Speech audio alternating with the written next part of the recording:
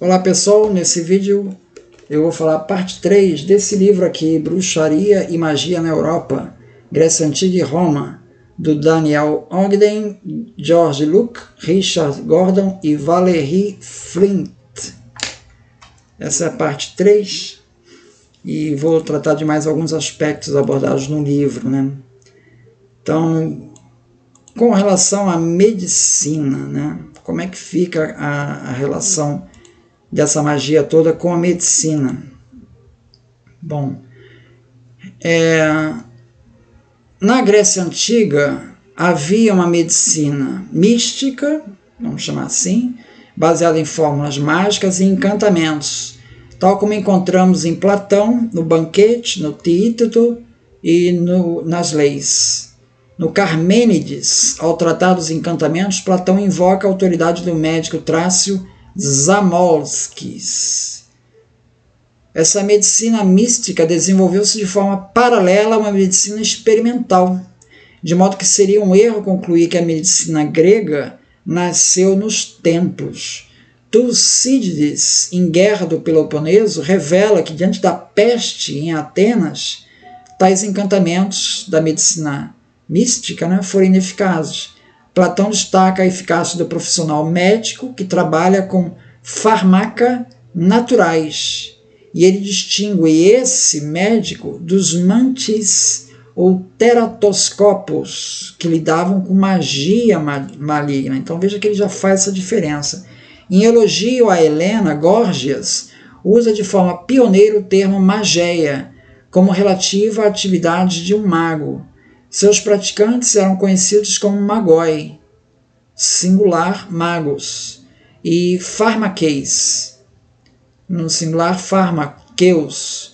No mesmo livro, mageia é usado quase como sinônimo de goeteia. O termo mageia aparece pela primeira vez em um fragmento helenístico de uma obra falsamente atribuída a Aristóteles, datada do ano 200 a.C. Um fármacos, na antiga religião grega, era, era como se chamava um sacrifício ritual. O exílio de uma pessoa, tal como escravo, deficiente ou criminoso, que era tornado um bode expiatório em momentos como fomes, invasão à peste, de modo a servir como sacrifício ou expiação dos deuses. Então, olha a situação: tem uma peste na cidade, cidadão escolhe uma criatura lá, que é ou um escravo, um deficiente, um criminoso, e esse cara vai ser sacrificado para levar a peste embora, para levar a fome embora. O satirista é, Hipponax é a primeira fonte referente a esse essa fenômeno, esse sacrifício chamado fármacos, e relata agressões e apedrejamento aos farmacoi, né, que era o, o bode expiatório lá. A prática dos fármacos guarda certa semelhança com a prática do ostracismo, que nós vamos ver depois, é, no qual um político proeminente ele era exilado da cidade-estado de Atenas após uma votação, usando pedaços de cerâmica, muito embora no caso do ostracismo o exílio fosse por tempo determinado. Aqui no Fármacos não, o cara morria, né? Plutarco registra uma cerimônia realizada em Queroneia, sua cidade natal, em que o magistrado açoitava um escravo com varas, dizendo: Fora com a fome, e que entre a riqueza e a saúde. Era a maneira que ele viu para afastar o sofrimento da fome na cidade. Na cidade de Abdera, na Trácia, uma vez por ano, em maio, durante uma festa conhecida como Targélia, uma pessoa era escolhida como bode expiatório para sacrifício em nome da comunidade, para sua purificação para que somente ele arcasse com os pecados de todos. Então a ideia de uma pessoa sendo usado para pagar os pecados de muitos está é, tá presente na Grécia Antiga. Né? Segundo James Fraser, o sacrificado era considerado uma personificação de um deus da vegetação, mais particularmente das figueiras, de modo que o espancamento que recebiam tinham como propósito estimular e refrescar os poderes da vegetação.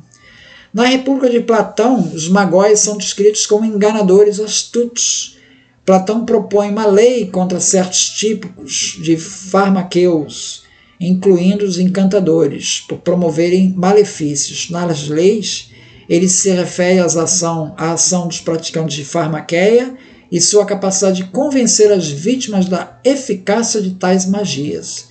No simpósio, Platão aproxima a magia da religião. Ele diz assim: por meio deles passa toda a ciência da adivinhação, as, as artes dos sacerdotes e todos os que estão ligados a sacrifícios iniciações, encantamentos e bruxarias, seria a palavra goetia. Deus não interage com os homens, é através dessa raça, os magoi, que ocorre toda a interação entre deuses e os homens. Na República, Platão se refere a profissionais de magia que perambulavam por Atenas, vendendo o seu ofício. Eram sacerdotes errantes e adivinhos, argitai e manteis. Manteis os adivinhos. Eles vão às portas dos ricos tentar persuadi-los de que têm poder outorgado pelos deuses mediante sacrifícios e encantamentos. E se quiser fazer mal ao inimigo mediante pequena quantia, prejudicará com igual facilidade o justo e o injusto, por meio de magia e da feitiçaria. Heráclito se refere aos magoi como vagabundos errantes, sacerdotes mendicantes, que se viam como descendentes dos magos persas.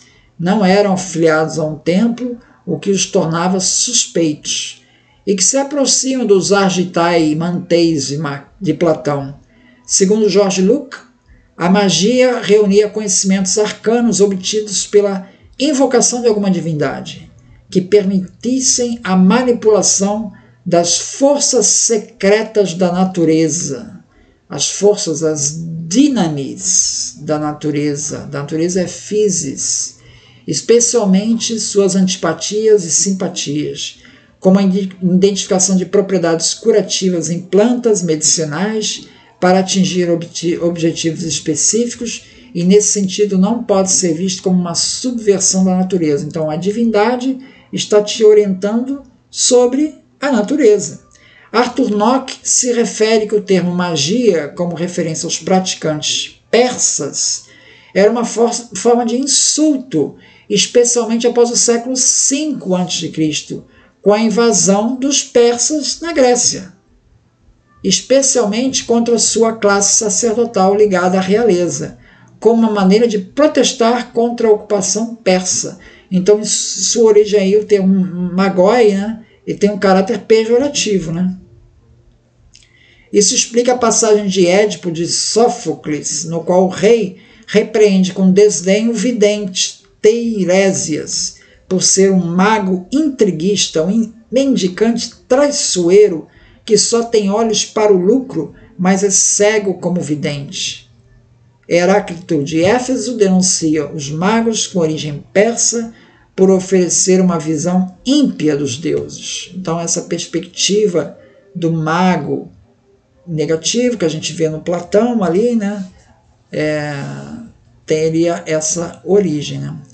Plínio, né, já na fase romana, né, destaca que um dos primeiros registros sobre magia e cujas obras ainda existiam no tempo dele foi Ostanes, que acompanhou Xerxes, o rei persa, em sua expedição contra a Grécia, e que Pitágoras, Empédocles, Demócrito, Platão, todos teriam viajado para a Pérsia em busca de conhecimento sobre magia.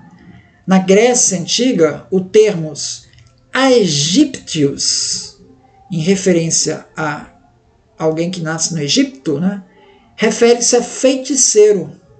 E daí é que vem o termo em inglês gypsy, que quer dizer cigano, quer dizer aquele cara errante que vai caminhando de porta em porta. Proclo, patriarca cristão de Constantinopla em 467, ele define a teurgia de modo grandiloquente, como um poder mais elevado do que toda sabedoria humana, englobando as bênçãos de adivinhação, os poderes purificadores de iniciação e, com uma palavra, todas as operações de possessão divina. Quando Próclo, no século V da nossa era, estudou as origens da geometria de Euclides, ele vai afirmar que os ângulos eram antigamente deuses. O cristão Sinésio de Cirene, da mesma forma, aprovou muitas das práticas da teurgia.